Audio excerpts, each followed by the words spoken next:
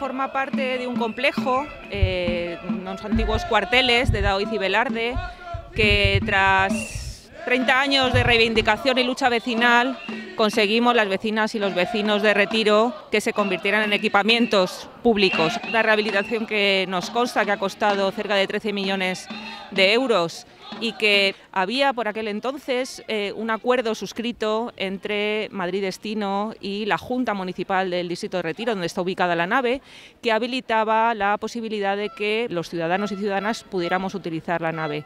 En 2019, tras las elecciones, cerró pusieron un cartel de que estaba por obras y que iban a durar un año y a día de hoy la nave sigue cerrada.